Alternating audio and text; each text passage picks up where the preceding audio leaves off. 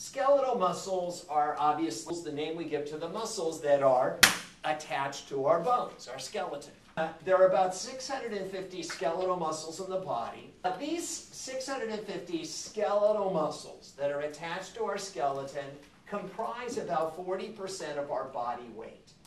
Uh, not quite half. Now, obviously, if somebody is more muscular, right, if they uh, work out a lot, then their skeletal muscles make up a greater proportion of their body weight. And on the other hand, if somebody's a couch potato, then uh, their skeletal muscles make up a lesser percent of their body weight. What are the basic characteristics of muscles, uh, muscle cells specifically, that make up muscles? Muscle cells and muscles in general exhibit two important characteristics, excitability and contractility. Excitability is the capacity to generate an electrical current, an action potential. An action potential is an electrical signal, an electrical impulse, an electrical current. Now, are muscle cells the only cells that generate these electrical signals called action potentials? No. So do nerve cells. So both muscle cells and nerve cells exhibit excitability, the capacity to fire off an electrical signal. A second characteristic of muscle cells and muscles, which are made up of muscle cells, is contractility. The word contract means to shorten. It means to get shorter. So muscle cells and muscles that are made up of muscle cells have the capacity to get shorter, to contract. Now nerve cells do not. So both nerve cells and muscle cells exhibit excitability, muscle cells and muscles exhibit both excitability and contractility. What are the functions of our skeletal muscular system? And I wrote muscular, but it's really, I want to emphasize, we're talking about our skeletal muscles. Later, we're going to talk about the muscles in the organs of our body, like heart muscle. That's, that's something different.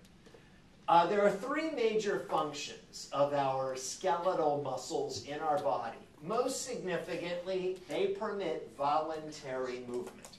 Skeletal muscles, which we've learned are innervated or controlled by somatic motor neurons, and we'll be talking more about that, allow voluntary control over the skeletal muscles in our fingers, in our arms, in our legs, and elsewhere in our body.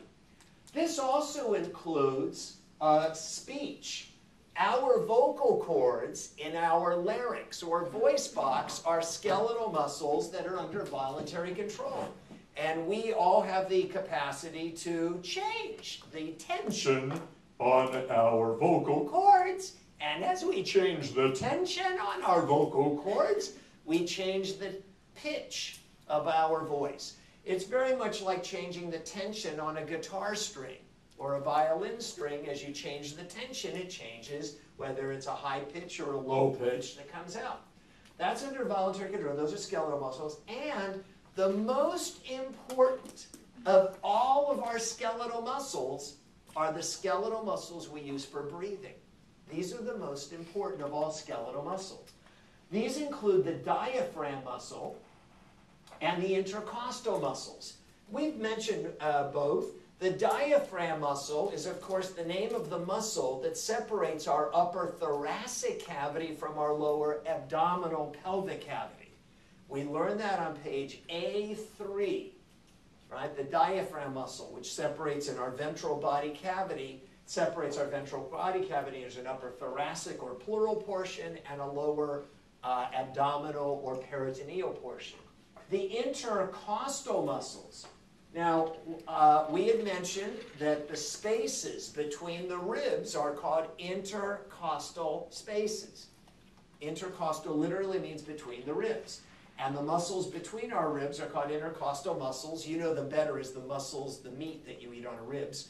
Uh, and they are used for breathing as well. These are the most important skeletal muscles. They just like the skeletal, uh, just like the skeletal muscles in our fingers, are controlled by somatic motor neurons that are under voluntary control.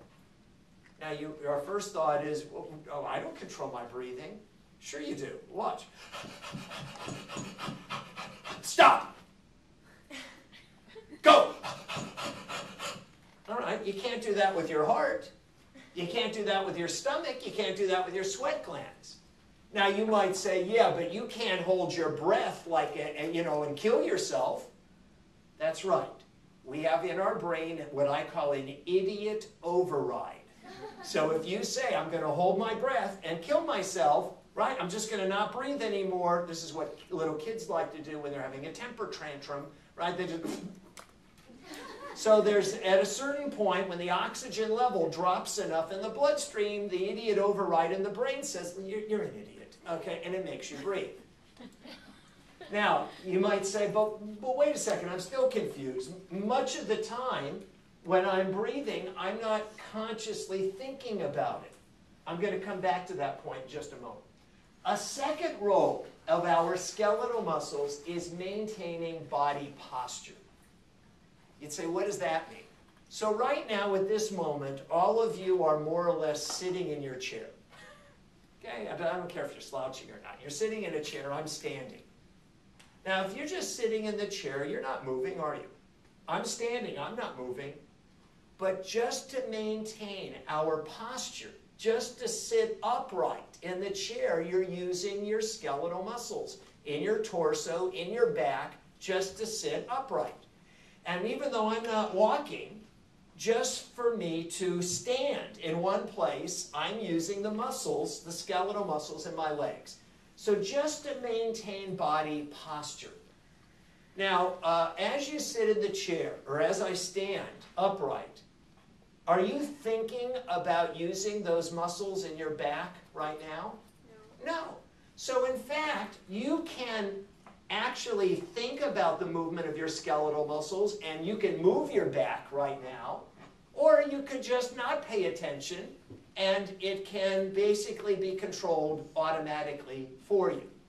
The same thing is true for uh, breathing. We can consciously think about breathing and speed up or slow down our breathing. right? Or I could just not pay attention to my breathing and it will be controlled automatically. So uh, we're, we're probably not going to get into this. You'll probably learn more about this in physiology, but there's actually two neural pathways that control the somatic motor neurons to your skeletal muscles. A voluntary neural pathway known as the pyramidal tract, and an involuntary neural pathway known as the extrapyramidal tract. And they both can be used to control the, uh, our somatic motor neurons, which control our skeletal muscles. But um, all of our skeletal muscles can be initiated or activated both voluntarily or involuntarily. So the uh, breathing muscles, like the diaphragm, are not any different really than uh, the uh, muscles of your back. A third uh, role of our uh, skeletal muscles is heat production. And the, when we use our skeletal muscles, that increases the rate of cellular respiration in those muscle cells for the purpose of generating that gasoline molecule called ATP, which you have to know for the test, incidentally, on Wednesday. Uh, we talked about mitochondria and so on. So uh, uh, when we start to use our, our muscles, they start to, they need more gasoline, more ATP, that speeds up the breakdown of sugars uh, with oxygen in the mitochondria of these cells, which generates a lot of heat. So that's why when you exercise, you get hot. But in fact, our body can take advantage of this. When we're chilled, when we're cold, uh, our skeletal muscles can be activated to start contracting simply for the purpose of generating heat. So if you're really cold and you start, you're sitting on a cold bench outside and you don't have a sweater or a coat, and you say, oh, look, I'm, I'm so cold. I, I, look, I'm shivering. I'm, and as you contract those muscles, you're generating heat. Incidentally, the next time you're cold and start to shiver, you can stop shivering anytime you want. You'd say, I can't. No, I, am cold. I'm shivering. I. How do I stop it? all that your brain wants you to do is to use your muscles, your skeletal muscles, to generate heat. You can either choose to do this voluntarily. You could say, I'm cold, I'm going to run in place. And because I'm going to run in place or do calisthenics, I will generate heat and that will keep me warm. Or if you choose to sit on that bench and not move, uh, you have another idiot override in your brain. Your brain, if you don't voluntarily use your muscles to generate heat, you have a control center in your brain that says, you're an idiot. And it will automatically make those skeletal muscles start contracting for the purpose of generating heat. So you can either choose to do this voluntarily, or your brain will make you do it involuntarily. That's called shivering, but the purpose is you, uh, the, your body wants you to use those muscles to generate more heat to stay warm. Uh, let's look here at the gross structure of a skeletal muscle. Uh, right here it shows a, a typical muscle, skeletal muscle in the body. We know that skeletal muscles are attached to our bones by tendons, TM. Remember, ligaments hold bones together, tendons attach muscles to bones. And the typically uh, a muscle is attached to two different bones. The bone that tends to remain stationary, that tends not to move, is known as the origin. So this would be known as, since there's a tendon that attaches to that bone, that's known as the tendon of origin. Uh, it also is known as the head or the ceps. Ceps is uh, short for cephalic, which means head. The actual muscle is called the belly of the muscle, and the other bone that the muscle is attached to uh, is known as the insertion. The insertion bone is the end that moves. That's the uh, known as that since it's a, the muscle is attached by a tendon onto that bone. That's known as the tendon of insertion. It's also known as the tail. So you'll notice we have basically uh, the head, the belly, and the tail as far as the way this muscle was laid out. The uh, head or origin or uh, ceps is where it, uh, the attachment that tends to remain stationary. The belly is where the muscle is. The insertion is the attachment to the bone uh, that moves. Now remember, all that a muscle does, basically all that a muscle does is it shortens, it contracts. So when this muscle shortens or contracts, this end stays stationary, and it's, as this muscle contracts, it's going to pull on this bone, and it's going to pull this bone closer to that bone. Now, this particular muscle is called the brachialis. We're going to be learning it. It's not one of the more important muscles, but it is a muscle we're going to learn. It's called the brachialis. It originates on the humerus, and it inserts on the ulna. Inserts on the ulna. So when this muscle contracts, which means to shorten, it pulls the ulna. It pulls the ulna closer to the humerus. All right? And in so doing, it causes bending or flexion at the elbow. So all it's doing is pulling the forearm closer to the upper arm. That's all that a muscle can do, is it pulls the insertion closer to the origin. That's all that any muscle does. The tendons, of course, attach the muscle, and I wrote that they attach the muscle to the periosteum of the bone. And you'd say, well, what do you mean? This shows some skeletal muscle cells and as we will be learning, skeletal muscle cells are highly unusual cells. They are very long cells that are multinucleated. They have lots of nuclei. They don't just have one nucleus, they have many, many nuclei. This is the tendon right here. Now, does anybody remember what kind of tissue makes up a tendon? Regularly arranged, dense, fibrous connective tissue. We learned it on page D11. Remember, what does that tissue look like? It's made up of fibroblasts, and the collagen protein is all running in the same direction. So it's very strong. All right? This is the tendon. Now, we have learned, and we need to know for the test that's on the outer surface of every bone, there's a protective covering. What do we call that protective covering on the outer surface of a bone? The periosteum. What tissue is the periosteum made of? We learned it on D11. Regularly arranged, dense, fibrous connective tissue. In other words, the tissue that makes up the tendon and the tissue that makes up the periosteum are identical. So literally, this tissue of the tendon merges. It fuses with the periosteum. They're the exact same tissue. So that's how a muscle is anchored onto a bone. Literally, the tendon and the periosteum are the same identical tissue. They fuse or merge with one another. All right, now we've uh, pointed out that uh, there's a tendon of origin and a tendon of insertion. The tendon of origin is known as the head or ceps. That's the attachment to the, I wrote less movable or stationary structure. And on page H2, item number three, the tendon of insertion or tail is the attachment to the more movable structure, this structure that moves. Let's look at this picture here at the top left on page H2. On the top left on page H2, it shows a muscle. This muscle inserts on the radius. It inserts on the radius. That's the movable end.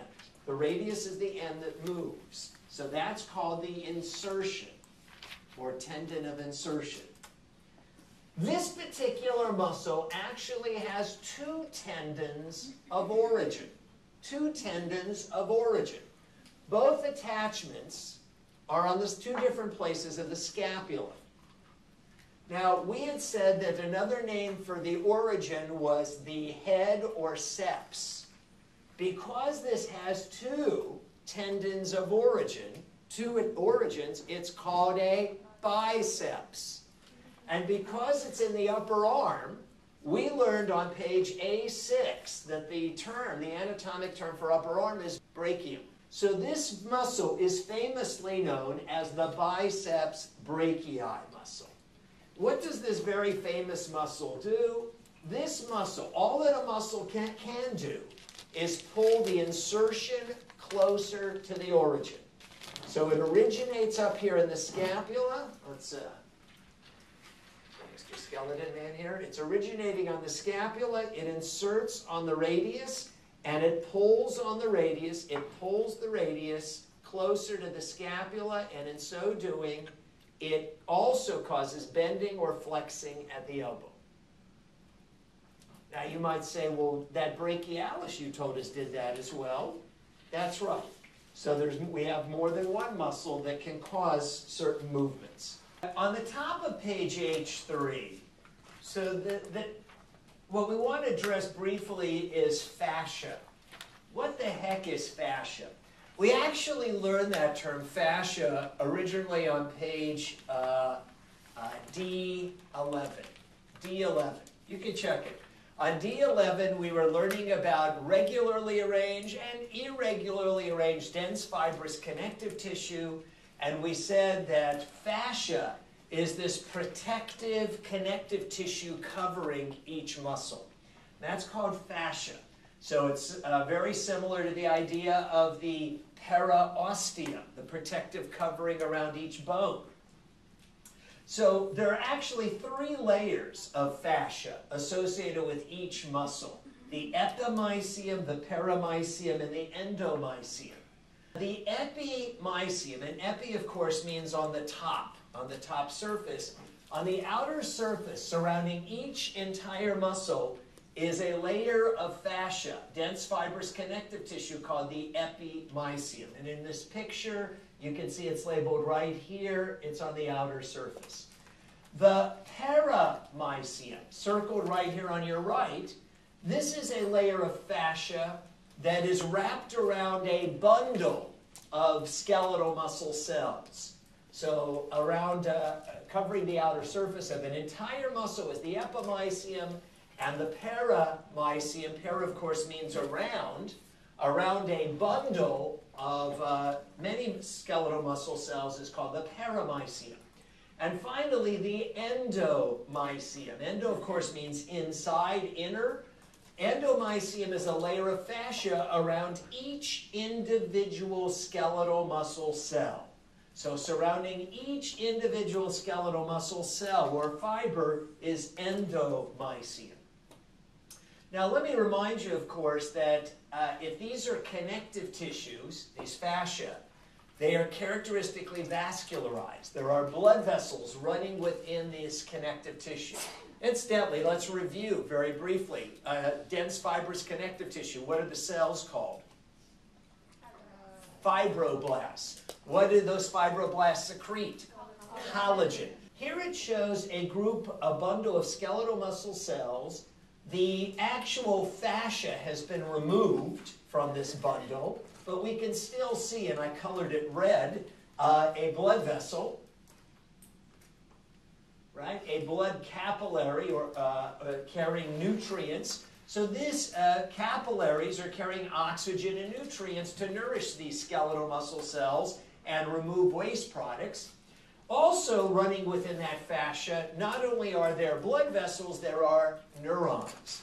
Both sensory neurons and motor neurons are running within this fascia. So again, it's running within both the endomysium, the perimysium, and the epimysium. Here we've identified this particular neuron as a somatic motor neuron.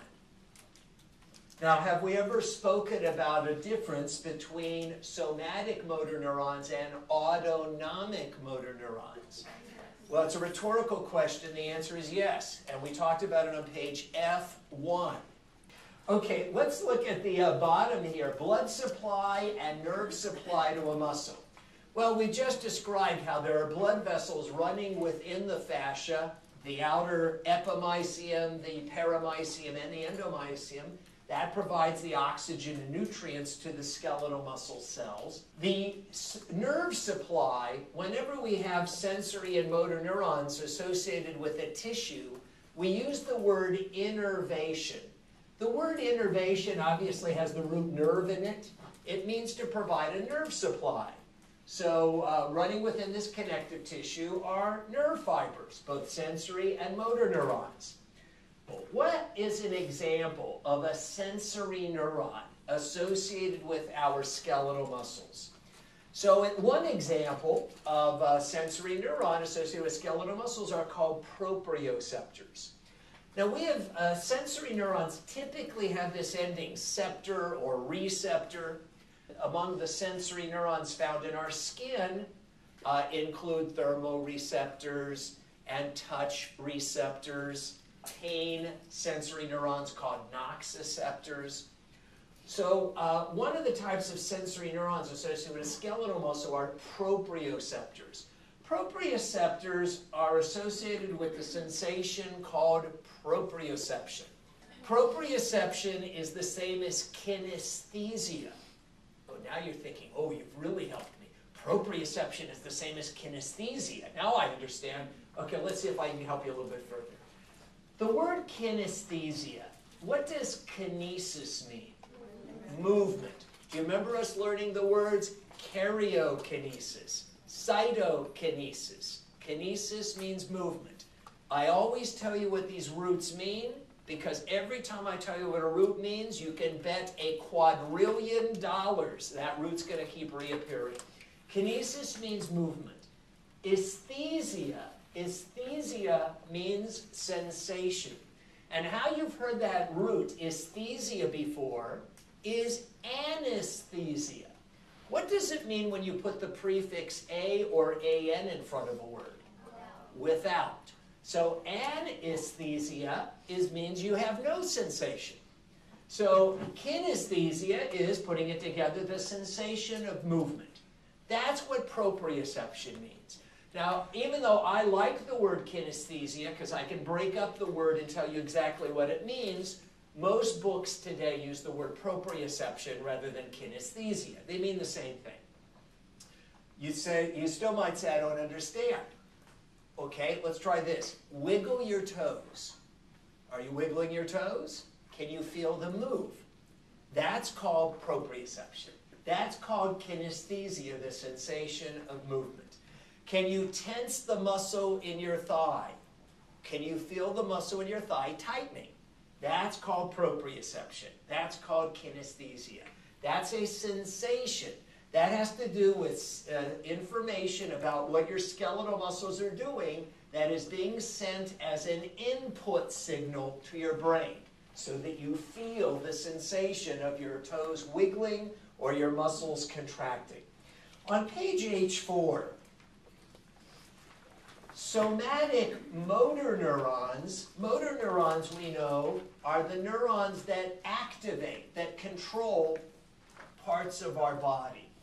Somatic motor neurons are those motor neurons that permit voluntary activation, voluntary control of our skeletal muscles, skeletal muscles. In contrast, we learned that autonomic motor neurons automatically control what? What do autonomic motor neurons automatically control? Internal organs, visceral organs. That's what we had learned on page F1. So here it has a picture of two somatic motor neurons originating in the spinal cord. These two somatic motor neurons are shown innervating or controlling a different group of skeletal muscle cells. Each somatic motor neuron typically synapses and therefore controls or activates hundreds, sometimes thousands of individual skeletal muscle cells.